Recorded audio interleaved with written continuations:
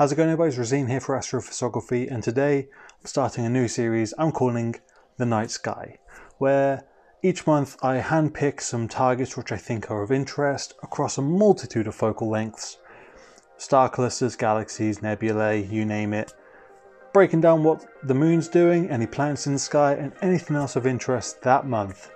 So this could be just to give you some ideas what you might want to look at in the month of January. I'm going to start off with deep sky objects because that's what I'm most familiar with. And these measurements I've been taken using my ASI 071MC Pro as a reference. So that's a 1.5 crop factor sensor. So whatever camera you got may vary your field of view a bit. However, let's begin. About 300 to 500 millimeters of focal length, I'm going to point you over to the east to Perseus, the California Nebula NGC 1499. Now this is a really large emission based nebula ideal for narrowband filters or those filters like the L Enhance or the L Extreme. It starts off high enough in the sky at 6 pm when it begins to get dark and is available all night until about 3 am. 4 am and then it drops down below 20 degrees altitude. Now a lot of people don't like to shoot below 20 degrees altitude because of atmospheric disturbances. Again, still at 300 to 500 millimeters focal length, you can then swing over to Andromeda Galaxy. This is still available. It's quite late into the Andromeda season though, so it's only really available till about midnight. It drops below 20 degrees altitude, about 130. So if you want to shoot the Andromeda Galaxy, you're going to want to probably get straight on that early on in the night when it gets dark and shoot it all the way through until it drops below too low for you. If you're about 500 millimeters, then you want to swing over to Auriga, where you can capture the Spider, the Fly, and the Tadpole Nebula, three beautiful deep sky objects in one field of view. These are IC417, NGC 1931, and IC410 respectively. So these are all emission-based nebulas again, really well suited for them narrowband filters or multi-band pass filters as well. But I've chosen this because that you can obviously shoot any of these individual targets with a deeper, narrower field of view, but I've chose this for 500 millimeters because just shooting that many objects in one frame is a really awesome feeling and makes for a really gorgeous photo. So 500 millimeters, head on over to Auriga. Now star clusters don't get a lot of love, but if you're at 600 millimeters focal length and you're in the Perseus area, why don't you go over and look at the double cluster, NGC 884, the Perseus double cluster. Chi Persei, I think it was also known as.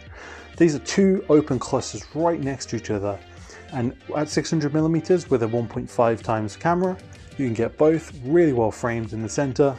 Very gorgeous, very visually striking image, I'm sure. So again, if you're in the area, don't you have, don't you consider giving that one a shot? If you're at 700 to 800 millimeters of focal length, I'm going to point you over to Leo, to the Leo triplet, in fact. Now, at 700 to 800 millimeters, you can get all three galaxies quite nicely in the frame with a decent star field around them. Now I'm going to push you to shooting this after the 6th of January though, because the moon is literally right next to Leo and will damage your individual subs. Being broadband targets, you can only use a light pollution filter and you can't really block the moon glow. So leave it until a bit later on in the month if you're going to be shooting the Leo triplet.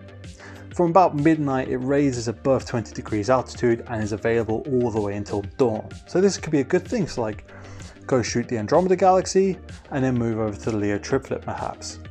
Lots of galaxies.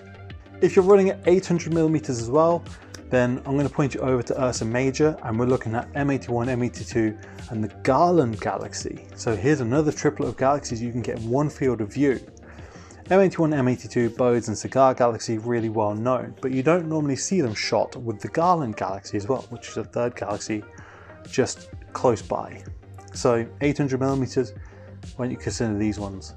Now a few people with really long instruments, 1,500 to 2,000 millimeters of focal length for example, I'm going to be recommending a couple of galaxies for you. The first one, M63, about 1,500 millimeters. M63, the Sunflower Galaxy. Now this is a really gorgeous galaxy located in Canes Venatici and it's also available from about 11.30 till midnight and that's when it raises above 20 degrees altitude and it'll be available all night. So if you have a long instrument like that, why don't you consider this galaxy?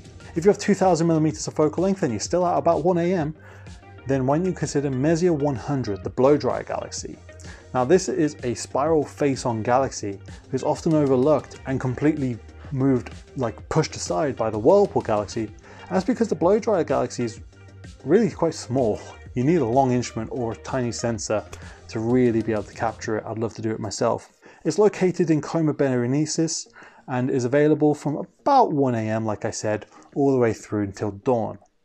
So if you've got long instruments, there's a couple of galaxies if you've got hunting. Right, for planet hunters out there, I've got a couple of plans for you as well in January. There's Mars and Uranus. Both are viable targets, but I'm assuming most people are going to be shooting Mars because I suspect Uranus needs extremely big instruments and tiny sensors.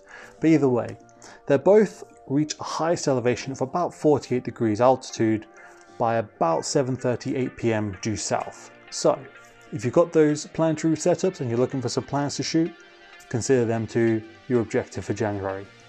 Right, for all you people who love shooting the moon, or if you want to know when to get the hydrogen alpha filter out or when to just stay inside, here are the lunar phases for January. The 6th of January is last quarter, the 13th of January is new moon. First quarter falls on the 20th of January, with the full moon being the 28th of January. Also in January we have the Quadrantid meteor shower. So this is a meteor shower that resides in Draco and comes out towards the northeast. It's a meteor shower that runs from the 28th of December to the 12th of January, with the peak being around the 4th of January. So probably, hopefully, that's the same day this video comes out. So if you've got some dark skies some clear skies, maybe try about catching some meteor showers. And there you go, that's the night sky in January. Now I hope this list has given you some insight or some inspiration of what to shoot this month. Now, this is by no means a comprehensive list at all. These are just a few targets I thought might be interesting for people varying equipment to go and image. And again, your skies may vary. I can't see Orion because my south view is completely blocked, but you might be all over Orion. So, again, this is just a few targets I thought were interesting and I hope it's been useful for you. If you like this kind of format, let me know in the comments down below and I'll carry on doing it. And what are you looking forward to shooting in January? Let me know down below. Hope you have clear skies everybody. Thanks very much for watching. Keep looking up. Keep them cameras clicking. I'll see you later.